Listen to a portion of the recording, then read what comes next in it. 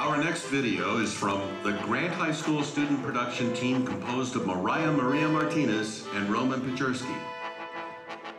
The Youth Development Network is the nonprofit partner client whose decades work in building youth leadership trainers is a regional standard. Here is their promotional video. Lights, please.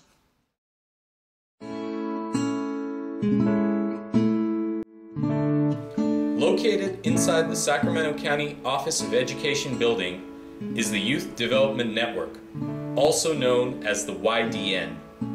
The Youth Development Network is dedicated to creating life changing experiences for youth success by supporting community organization through training, networking, and policy advocacy. The Youth Development Network began in 2000 as a result of two studies conducted by the Sierra Health Foundation and the Sacramento County Integrated Services Team. These studies identified a need to support youth providers with training and networking activities to focus on promoting youth development research and practices. Today, the YDN is the region's leading resource on youth development approaches.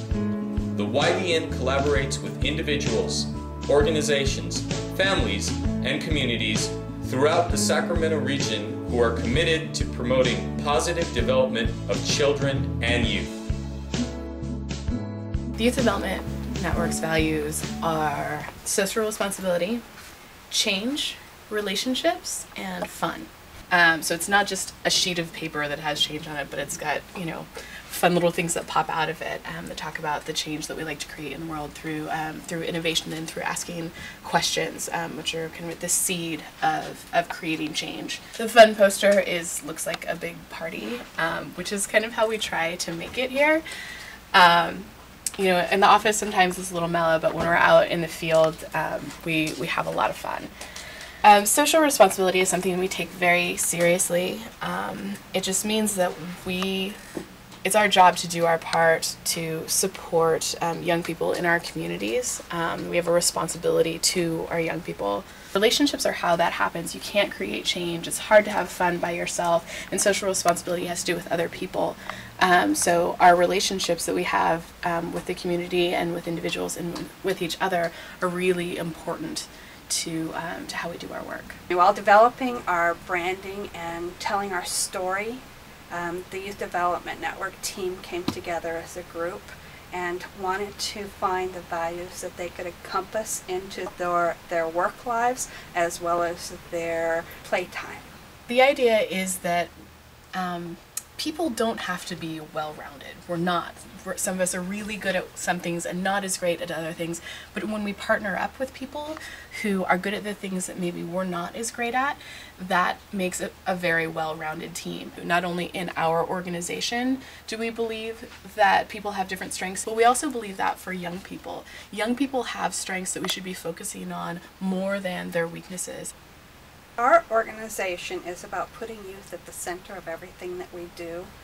Um, the Youth Development Network team works with adults that work with youth, and we strive to create a positive environment where youth can be successful and succeed in all that they do.